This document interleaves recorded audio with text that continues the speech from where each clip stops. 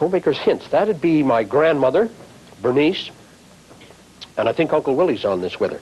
Hope we can sell this thing. The family needs the money. Ooh, turn out the light. There we are.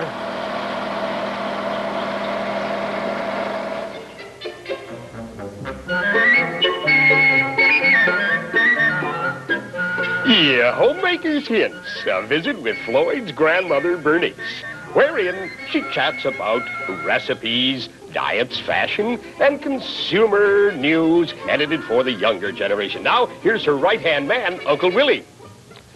Hello again, and, and welcome to Bernice's Kitchen. Oh. And I'm told that today it's back to basics. Is that correct? Yes, I feel that the young folks now, Willy, are getting away from it. And I, a lot of the men are winding up in the kitchen That is now, true. And they That need help. The mm-hmm. younger people are, they mm-hmm. need help with, some of them don't even know what a can opener Oh, looks you're like. joking, Bernice. Surely. Really?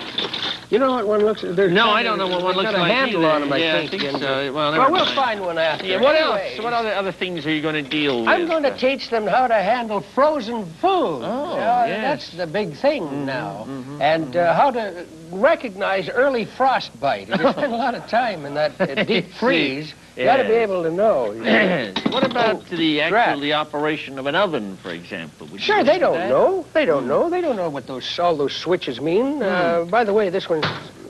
Yeah, she's she's on. Yes. yes Wish I could yes. say I was. Well, while we're going ahead here, I- Yes, uh, yes, I'm going to make a little surprise for you. What is this? What are you preparing? Is this In an original uh, recipe?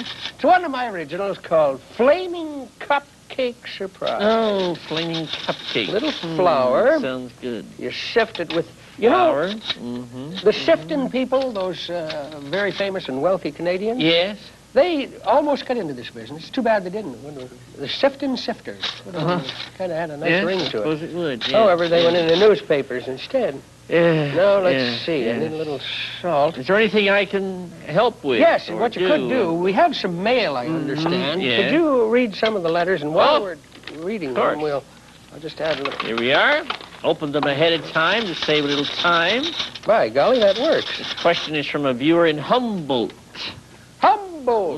I'm preparing a gourmet dinner for my husband's boss and wife. Uh, what do you suggest for frog's legs?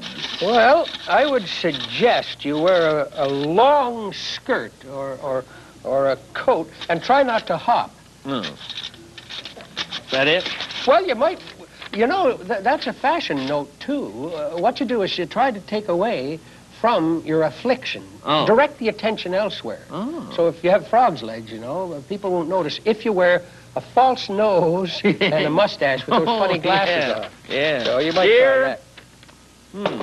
Oh, dear Graham, I hadn't seen you on the TV for a couple of years, and then I seen you with Willy and Floyd. I was startled to notice that you let your hair grow very long. It's turned snow white. You're also projecting a rather feminine image, and I don't think Just a second. The letter was intended for Graham Kerr. care.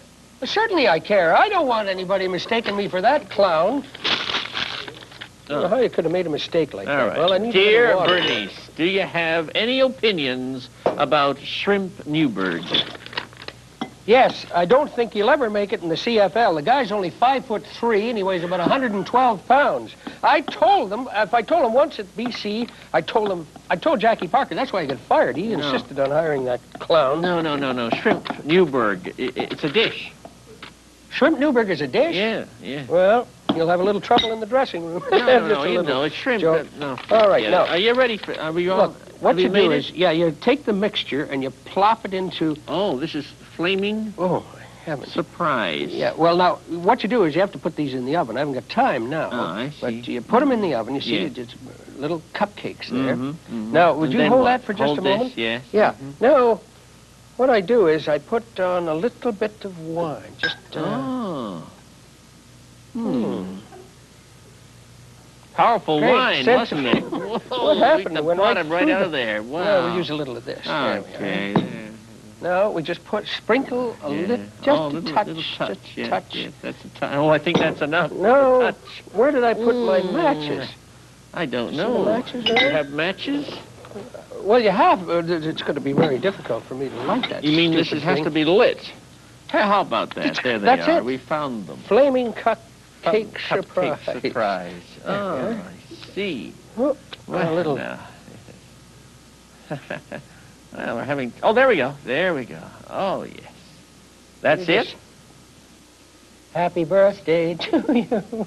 Happy birthday. Flaming cupcake surprise, our little dish for today.